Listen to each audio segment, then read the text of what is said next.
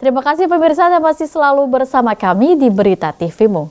Presiden Jokowi kembali berkurban sapi di kampung halamannya di kota Solo. Dua sapi berjenis limosin seberat 960 kg diserahkan di Masjid Al-Wusto.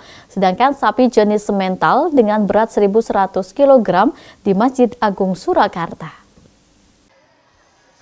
Seperti tahun-tahun sebelumnya, Presiden Joko Widodo kembali berkurban di kampung halaman.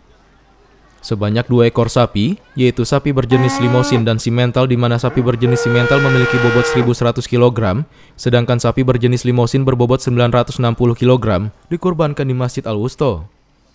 Di Masjid Al-Wusto, sapi kurban milik Presiden Jokowi menjadi daya tarik warga, di mana masyarakat Solo berbondong-bondong datang untuk menyaksikan hewan kurban jenis limosin ini. Di Ketelan sendiri mendapatkan hewan kurban sebanyak 4 ekor sapi, serta beberapa kambing yang akan dikurbankan. Sekretaris Masjid Al-Wusto Purwoto menjelaskan nantinya hewan-hewan kurban ini akan dijadikan seribu bungkus yang akan dibagikan ke seluruh masyarakat Ketelan, Surakarta.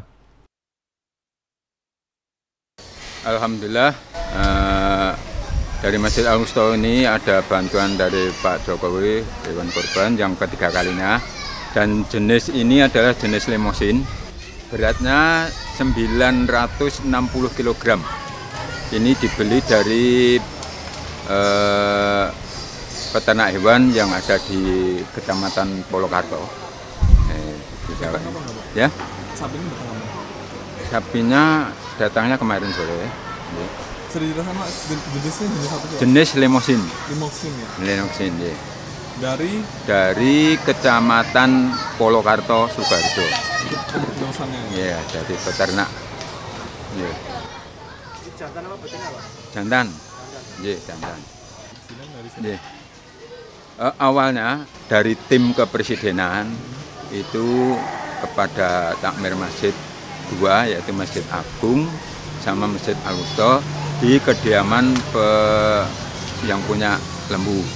Kalau di Masjid Agung yang menerima itu Pak Haji Muhtarom, kalau dari Al Wusto kami wakili.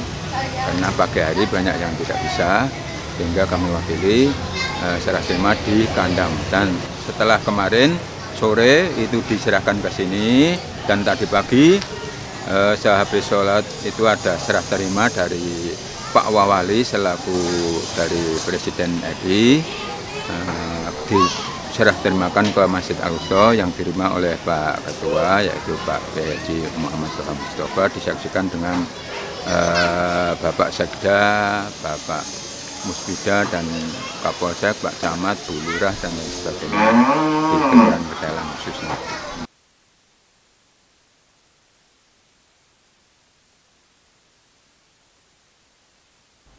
Mas Agung Rahmantio memberitakan dari Solo, Jawa Tengah.